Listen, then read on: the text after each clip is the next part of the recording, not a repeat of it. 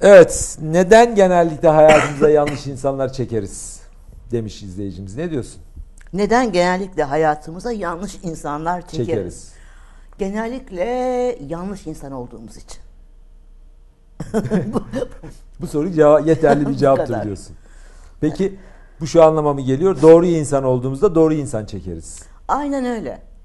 Peki doğru ve yanlış insan kavramlarının her insan için anlamı bir mi? Doğru insan yanlış insan değil de kendiyle barışık insan, kendiyle düşman insan. Kendisine düşman insan olarak ayırt edebiliriz. Yani ben kendimle barışıksam eğer, e, özümle barışıksam, o zaman etrafıma benim seçtiğim insanlar, yani arkadaşlarım, sevgililerim, dostlarım, bunlar benim seçtiğim insanlar, sosyalleştiğim insanlar elbette benim frekansıma, benim enerjime uygun insanlar olacaktır. Ha, Neden genellikle ya da bazen yanlış insanları hayatımıza çekiyoruz derken, şimdi iki tür e, hayatımız var. Bir, zorunlu olarak bir arada olmak zorunda olduğumuz kişiler. Buna işte aile üyeleri, akrabalar, hani Kan bağıyla sevme- bağlı kan olduğumuz- bağıyla bağlı olduğumuz, hoşlanmadığımız insanlar. Yani bir dakika. Kan bağıyla bağlı olduğumuz hoşlanmadığımız insanlar biraz garip kaçtı. Ne demek istiyorsun bunu bir altını biraz açalım. Aman alınma alınma. yani kan bağlı kan bağıyla bağlı olduğumuz insanlar arasında hepsini sevmiyoruz. Yani kan bağı eşittir sevgi anlamına gelmiyor. He, Ama sevdiğimiz insanlar da olabilir. Elbette ama o sevdiğimiz insanlar kan bağı olmasaydı da seveceğimiz insanlar oluyor zaten. Evet, evet. Bir de iş hayatımızda işte birlikte çalışmak zorunda olduğumuz insanlar var.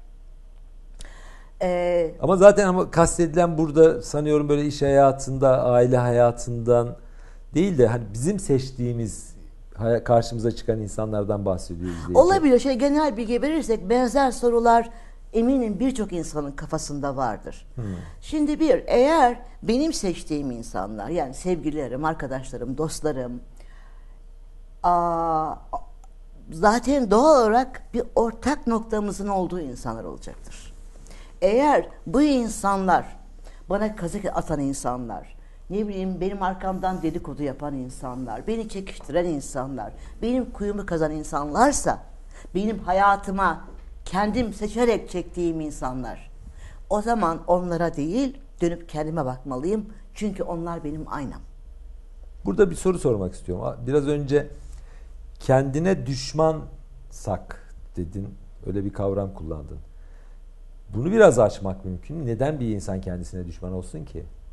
Yani en iyi dostumuz kendimiz değil miyiz? Ah keşke, keşke ama bunu aile yapımı insan dizisinde zaten böyle kısacık bir süre içinde anlatılacak şey değil ama kendimize düşmanlığımız ana rahminde geçirdiğimiz süre artı 6 yaşa kadar şekilleniyor. Bunu neden sordum? Biraz önce söylediğim bu bizim arkamızdan dedikodu yapan, çekiştiren insanlar dedin. Aslında nedir? Bizim hakkımızda iyi fikre sahibi olmayan, bir anlamda bizim düşmanlığımızı yapan insanlar bunlar. Evet, Dostumuz zannetsek evet, de. Evet. E biz kendimize düşmansak ancak böyle insanları da hayatımıza çekeriz. Değil mi? Yani O- o anlatmak geliyor. istediğim bu. Evet. O- bu çerçevede çok kısaca belki de hani düşmanlık nedir? Ee, böyle bir birkaç cümle üzerinden bir şeyler söyleyebilirsek. Vallahi bu aslında tek başına gep geniş bir konu ama şu kadarını söyleyeyim. Bir kere hiç kimse bize kendimizden daha fazla düşman olamaz. Ve hiç kimse bizi kendimizden daha fazla sevemez. Yani kendimizin kendimizi sevdiği kadar. Sır aslında her şey bizde başlıyor, bizde bitiyor. Ben kendimi seviyor muyum? Bir kere fiziksel boyutta kendime düşmanlığım bedenime iyi bakmamakla, ne bileyim işlenmiş gıdalarla beslemekle, hareket etmemekle, yanlış nefes almakla. Ama bunlar bilgisizlik. Hayır. Bilgisizliğin sonucu Şimdi- değil mi? Tamam cehalet de kendine düşmanlık. Sonuçta şu anda e, Türkiye nüfusunun diyelim ki büyük çoğunluğunun elinin altında internet var. Herkes Facebook'a giriyor. En azından E, şu anda bizi izleyen insanların elinde böyle bir imkan var yani. Var. Bunu söyleyebiliriz. Ve aynı zamanda da e, Google var elinin altında. Nasıl kullanıyorsun? Bilmek, öğrenmek için mi kullanıyorsun Google'ı? Yoksa oyun oynamak, chat odalarına gir. Neydi chat odalarına Vakit diyorlar. öldürmek için mi? Vakit öldürmek için mi kullanıyorsun? E, duygusal boyutta sürekli olumsuzluklara mı odaklanıyoruz? Endişelere mi odaklanıyoruz? Efendim karamsar mı düşünüyoruz? Vahim e, ne vehmediyor muyuz? Bütün bunlarda aslında duygusal boyutta kendimize düşmanlığımız. Demin kıskançlık yapıyor muyuz? Haset yapıyor muyuz? Aa, kızgınlığımızı içimize bastırıyor muyuz? E, zihinsel boyutta düşmanlık, inançlarımızı sorguluyor muyuz? Gözden geçiriyor muyuz? Düşünceler bize mi ait, başkalarına mı ait? Düşünmekten korkup hazırlop inançlarla efendim e, bize aktarılan e, empoze edilen düşüncelerle, en, değerlerle körüne kabul mü ediyoruz? Ruhsal boyutta, maneviyat boyutunda ne kadar zenginiz, ne kadar fakiriz? Ne kadar bütünün bir parçası olduğunu anlıyoruz kendimizin, ne kadar bencece davranıyoruz. Bencece davranmak bir insanın kendiyle dost olmadığının kanıtıdır. Çünkü kendiyle dost olabilen insan bencil olmaz. Birey olur. Ben, içimizdeki ben, benci olur. L'si yok sonunda. Benci ile bencili birbirinden ayırmak evet, gerekiyor tabii. Benci insan birey olabilmiş insandır. Ve bu insan kendisiyle barışıktır. Çünkü ben olamadan biz olamıyoruz. Tabi burada bencilik bencillik değil. Bencilik biri tek L, biri iki L. Evet. Öncelikler listende kendini ilk sıraya koyma halidir diyebiliriz değil mi aynı zamanda? Şimdi tabii insan değer verdiği şeyleri öncelikler listesine koyar. Ben kendime değer veriyorsam öncelikler listesine koyarım kendimi. Listenin ilk sırasına. İlk sırasına. Bu da değerlik duygusuyla ilgili. Ben ne kadar değerliyim ne anlama geliyor? Aslında benim ne kadar başkalarına verebilecek şeyim var anlamına geliyor. Evet. Bir de burada şöyle bir kriterden de bahsedebiliriz belki. Ee, başkalarının gözüyle mi değerlendiriyoruz kendimizi yoksa kendi gözümüzle mi değerlendiriyoruz? Bu e, bir masaya yatırıldığında şunu farkına olacağız. E, özellikle şu soruyu soran izleyicimizin de bakışının biraz bu açıdan bakışını değerlendirmesine yarar var. Çünkü yanlış insanları hayatımıza çekiyoruz dediğimizde orada gördüğümüzün bir anlamda bizim yansımamız olduğunun çok farkında değiliz. Yani o nasıl değerlendiriyorsa bizi biz de onu öyle değerlendiriyoruz. Çok farklı şeyler değil bunlar. O nedenle benzer benzeri çeker diyoruz ya. Sen doğru insan evet. olsan neden yanlış insanlara bir arada e, Mümkün olursun? değil yani, zaten. Onlar gelse bile sen neden isteyesin onu? Değil mi? Ya da sen yanlış insansan. Burada tabii yanlış hep kendinde hep barışıklık, içinde barışıklık doğru. hali ya da kendinden uzaklaşma hali, kendine yabancı olma hali diyebiliriz. Ya evrenin yasası her şey kendi benzerini, kendi dengeni arar. Fizikte de böyle, kimyada da böyle ne bileyim hep her şeyde bir denge, bir uyum vardır.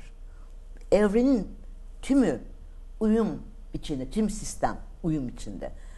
Ee, benim arkadaşımın bana yaptığını, hani yanlış insan ya, Peki ben başkalarına yapmıyor muyum? Hani illa arkadaşıma yapmış olmam gerekmiyor. Arkadaşımın bana yaptığını belki ben sana yapıyorum, belki bir başkasına yapıyorum. Diyebilir miyim? Ben maruz kaldığım davranışları asla hiç kimseye yapmıyorum. Evet bir de tabii şöyle bir açıdan da bakmak lazım. Yanlış insan doğru insan diye bir tasnifin kendisi de yanlış. Yanlış. Evet. Çünkü evet Yanlış yanlarımızda tırnak içinde e, sorunlu yanlarımız da vardır. Başkalarını başkalarının hoşlanmadığı, bazen kendimizin de hoşlanmadığımız yanlarımız da vardır. Hoşlandığımız yanlarımız da vardır. İyi ya da kötü özellikler bir arada bulunur aslında. Bir kişide sadece olumsuz özelliklere odaklanıyorsak bu da bir problem. Odaklandığımız şeyi görüyoruz çünkü o kişide olumlu özelliklerine odaklanabilmek ama olumsuz özelliklerini de görebilmek. Yani objektif değerlendirebilmek ve olumlu yanlarını görmek daha önemli ilişkilerde özellikle. O zaman hem kendimize hem karşımızdakini geliştirme fırsatı sunuyoruz. Değil mi? Yani burada olmuş insanlar ya da gelişkin insanlar, işte gelişmemiş insanlar, iyi insanlar, kötü insanlar diye bir tasnif zaten problemli bir tasnif.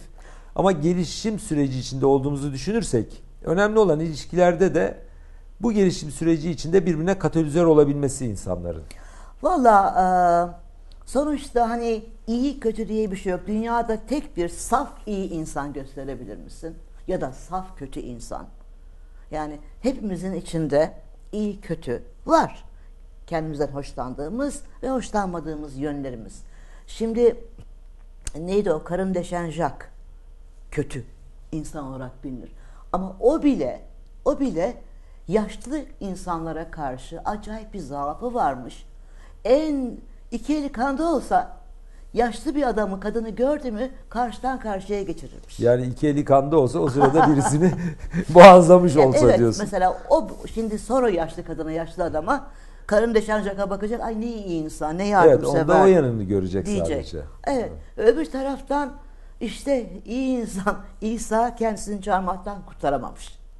Yani hiç kimse herkes tarafından ne olursan ol herkes tarafından kabul görülmesi, sevilmesi mümkün değildir.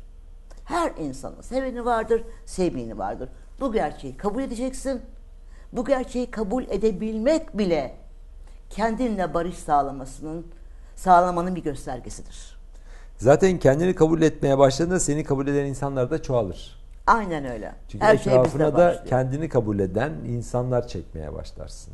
Evet bu belki doğru yanlış insan kavramından daha sağlıklı bir ayrım olabilir değil mi? Aslında burada yanlış denilen şey benim kendime göstermediğim muameleyi başkasından bekliyorsam ve o muameleyi o kişiden alamıyorsam o kişi benim için yanlış insan oluyor.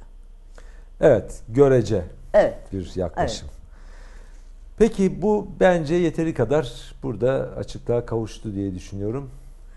Burada Zaten bir nokta e, koyabiliriz programımıza. hep şöyle bakıyorum ben bütün sorunlar hani pastanın ince dilimleri gibi böyle ama hepsi iç içe. Bir yerden e, ya da ne derler yumak yumak değil mi? O Daha doğru bir örnek. Evet, evet. Hani yumağın birisini bir yerinden çekmeye başladın mı İpi çekmeye başladığın zaman gerisi gelir. Evet. Peki. Evet biz de şöyle başlayalım. Neden? Başladık değil mi bunda? Evet. İyi insan, kötü insan, yanlış insan, doğru insan. Kavramlar yavaş yavaş yerli yerine oturmaya başlayacak. Önemli olan iyi insan, kötü insan, doğru insan, yanlış insan olabilmek değil. İnsan olabilmek. Evet. Bu sözün üzerine söyleyecek başka bir şey kalmadı. Ne diyoruz? Haftaya görüşmek üzere. Yapıyoruz. Hoşça olun.